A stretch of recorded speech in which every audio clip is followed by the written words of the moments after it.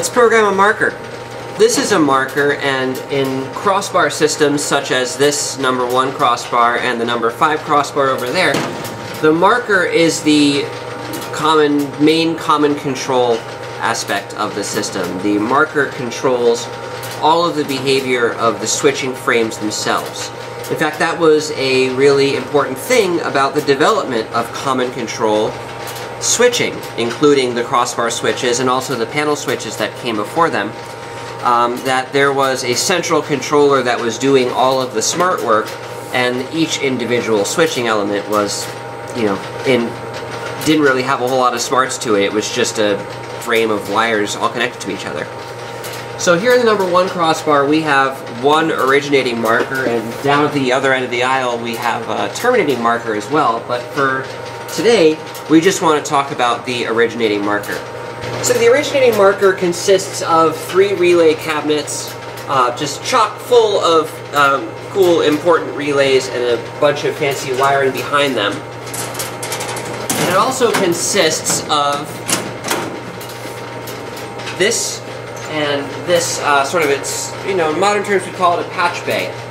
Um, and what we're doing here at the patch bay is we are making connections between different points to, in effect, program the marker and tell it how to connect us when we want to make a call.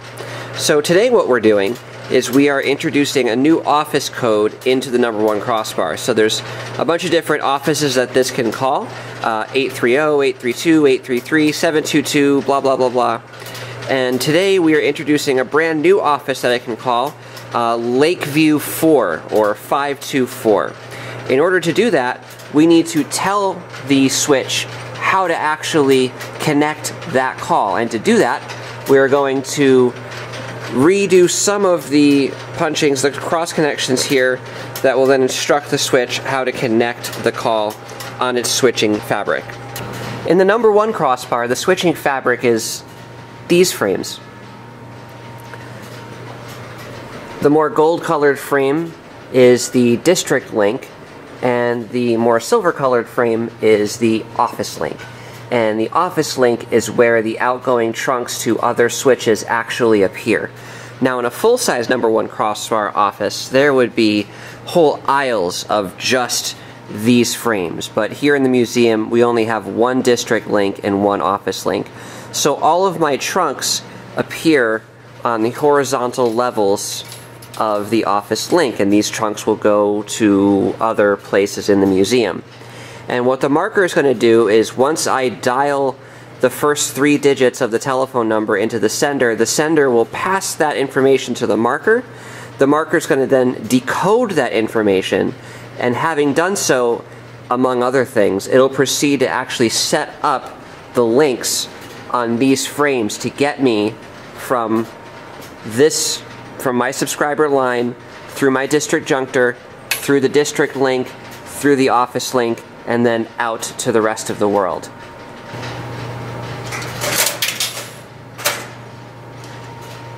Here's how it works. The marker receives as input a three-digit office code. Once it's received that office code, it will then go here, and each of these terminals is going to be uh, grounded by its own office code. For instance, Here's the terminal for the new office code that we're adding, 524. And when I dial 524 and the marker registers that, it's going to fire, or it's going to put ground on this terminal. That ground is connected to the operate winding of route relay number 15, which is that one. So when this office code is dialed, this will be grounded, and route relay 15 will then operate. This is where it gets cool. Once route relay 15 operates, it's going to close a whole bunch of contacts. Each of those contacts is assigned to one of these, of each of these groups of punchings. So if we look at this group of punchings and we go up to 1, 0, 2, 3, 4, 5, there's the there's the punching that goes back to route relay 15. And On this block, there's also 10, 11, 12, 13, 14, 15. There's the punching that goes back to route relay 15. Each of these punchings, and the rest of them as we go across, and also down here, each of these punchings will have to be cross-connected to another punching on this field. And the way it's cross-connected, it determines how the marker is going to decode that information. So route relay 15 operates, a contact closes on 15, grounding this cross-connection. This point is then connected to one of these points, which is then connected back into the marker itself, which operates a relay that in turn tells the marker how to behave on that call.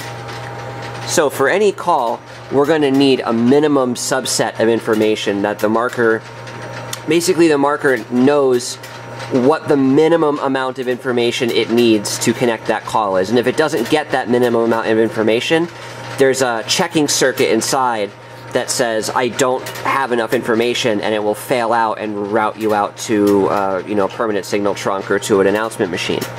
So in order for the marker to be successful, we have to give it at least the bare minimum it needs to route the call correctly. So that's going to be group start. Where do I start looking on the office frame for the trunk? Group end. Where do I stop looking on the office frame?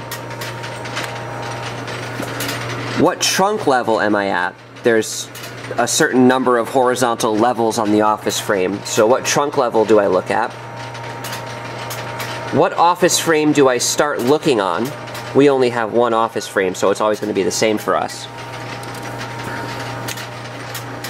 Then, if I'm going to go out to like a distant panel tandem or a distant crossbar tandem, what selections do I need to make on that distant tandem in order to complete the call? Now, the office code that we're setting up today does involve a distant panel tandem, so we're going to actually go from our switch to out to a distant switch and then circle back to ourselves. So I'm going to need to tell it the office brush and office group coordinates on the panel switch, which is over on the other side of the room. So it'll need to know that as well. And then it's going to need to know a compensating resistance, so how much resistance do I have to add to this trunk for proper signaling? And some other little tiny auxiliary things about how to handle the distant end of the trunk when we get there. So what I have to do essentially is connect all of the correct cross points. What I'm going to do first is connect them with alligator clips because that way I can test and if something's wrong I can move the alligator clips around. So let's do that now.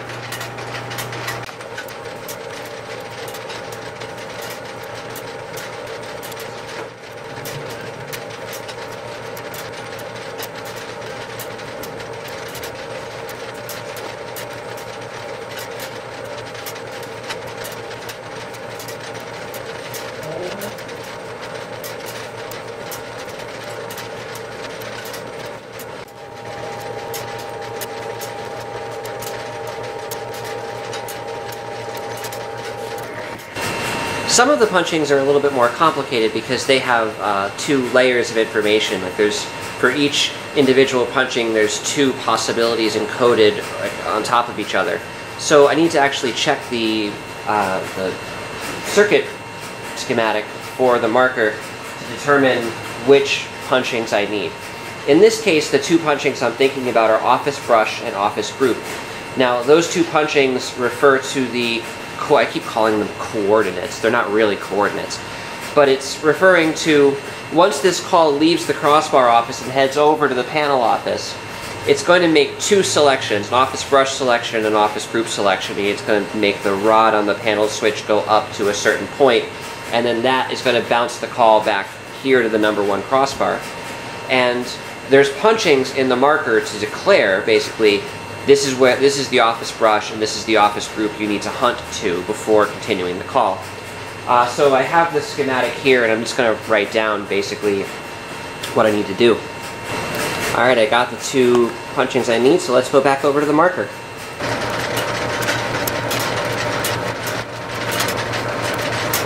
Now that we've strapped in our cross connections, at least temporarily, with alligator clips, let's go ahead and test the marker to see if it actually accepted the information we gave it. Um, four. And it didn't. Now the reason for this is because when the marker was actually brought to the museum, it was completely cut from the route relay bays that we were just cross-connecting. So the marker saw that uh, the office code we entered, Lakeview 4, and tried to access the route relay and the grounds that, or the grounds that were coming back through those punchings, but when it tried, there was nothing there. So essentially what it just gave us back was nonsense. Or just like, I, not only could I not route that call, I couldn't even determine what you wanted me to do in the event that I couldn't route the call. That's how, that's how hard I just failed. So what we have to do to actually fix this is go and reconnect the wires on the back side. Now I've been doing this for a few months now, um, just doing them one by one or you know 10 or so at a time as I have the time. Um, this is a really big job and it's probably going to take me a couple years to connect everything. Fortunately though, for what we're doing today, I don't need to connect the several hundred wires um, that will put everything back together. I just need to connect enough that this, uh, that the series of cross connects we just put in will work. So let's go do that.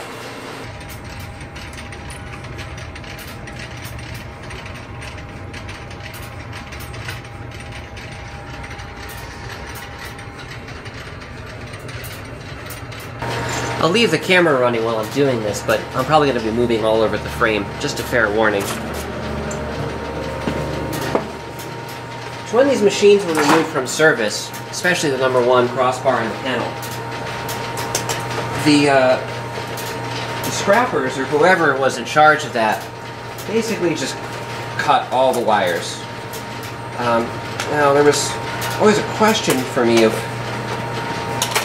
why they did that. And what it really comes down to is insurance value. You see, when when these switches were actively in service, switching calls, they were worth you know million millions of dollars. At least when they were new. I mean, when they were old, presumably hundreds of thousands. But not only the the worth they had in you know the, the cost of the material and of the equipment itself, but the value it had to the phone company um, as being a part of its infrastructure.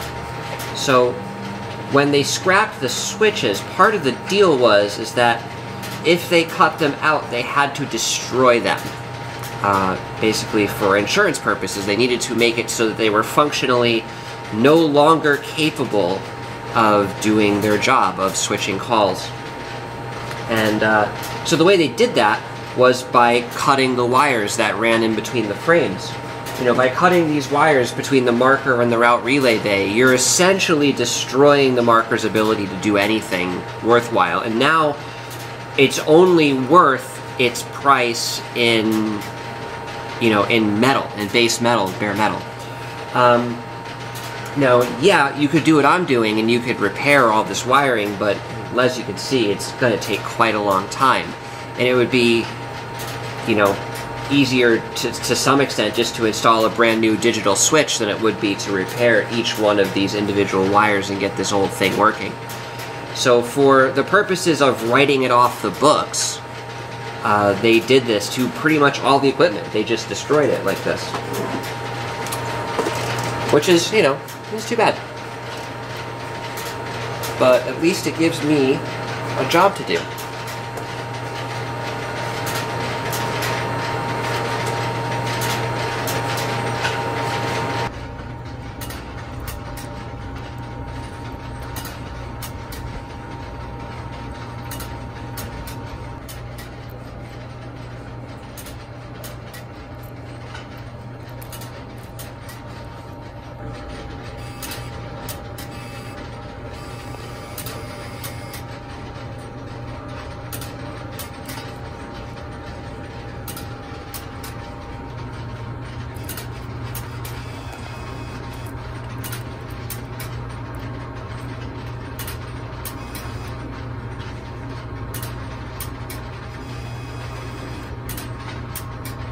Now that we've got those wires connected, uh, it's doing a little better here in the test frame.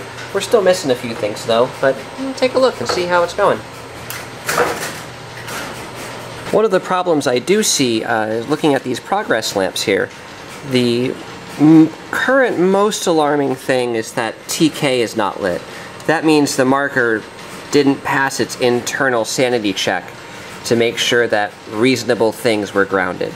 Now what that means is I likely just forgot to hook something up, which is okay. I just need to go back over my uh, my wiring and make sure that I put everything where it should be. And I probably made a mistake once everything is working, once I see a TK indication here, then I can be fairly sure that the rest of this is going to go okay, assuming the trunks are actually wired up to the Office Link frame all right. And I know they are already because I did that um, months ago.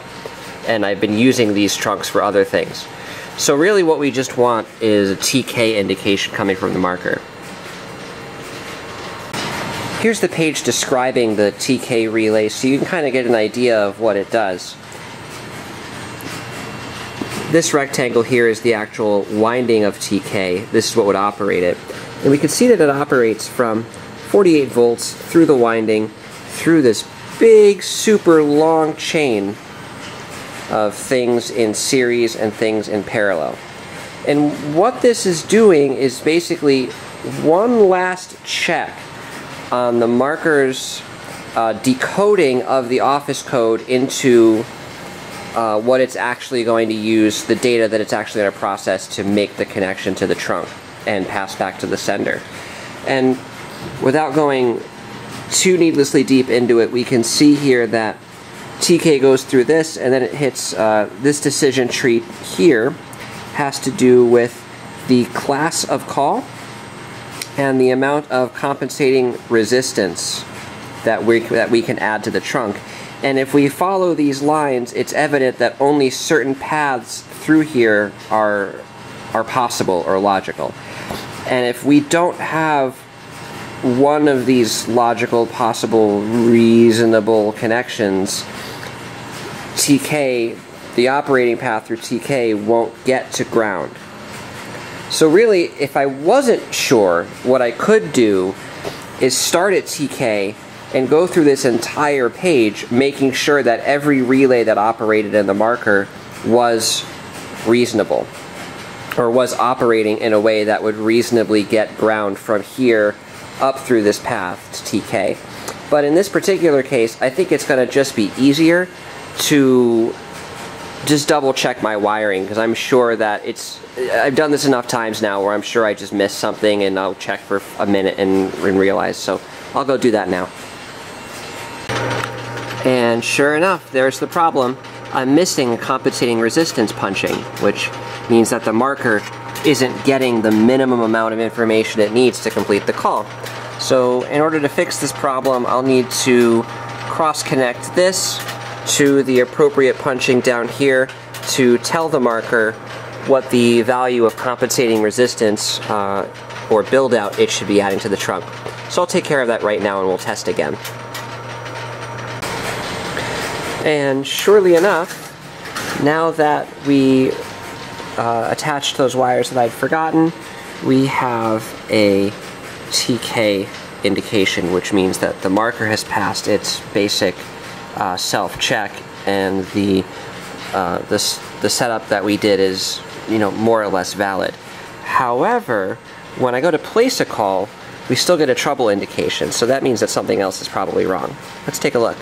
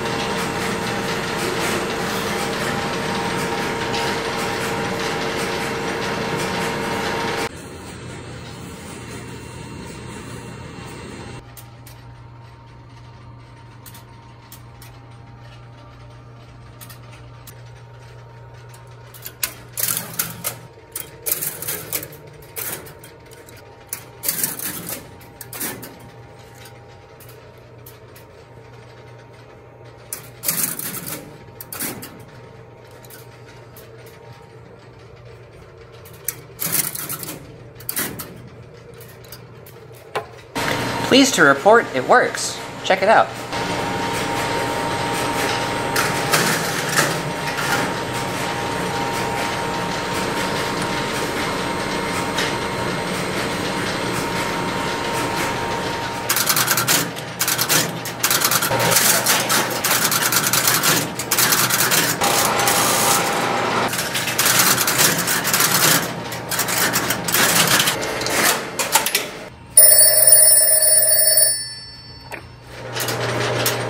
Last thing to do is replace all of these Bodge jumper wires with properly laid out and soldered wires now that I know everything is going to work great. So you might be asking, hey, back up a little bit. What did we just accomplish with all of this wiring? Well, here at the museum, we try our best to have the switches operate in a way that's very close to how they would have worked when they were in active service. One of the things that telephone switches do is called tandem switching. Tandems were used in many larger cities where telephone exchanges on opposite ends of town didn't always have direct trunks between one another. In cases like these, calls would leapfrog through a tandem office, which would then connect you to the destination office. In this way, tandems served as a higher level concentrating points, connecting telephone switches to other telephone switches, instead of subscribers to subscribers. Now, by dialing Lakeview 4 on our number 1 crossbar, we can ask it to first connect to the panel office, which will serve as a tandem point, and then connect from the panel right back to itself, which will then complete the call. You might have guessed that there's no functional reason to do this in the museum, since the number 1 crossbar is fully capable of handling this call to itself without using a tandem. And you'd be right but it's certainly fun to connect our switches together in interesting ways that also serve to illustrate how these machines actually interoperated.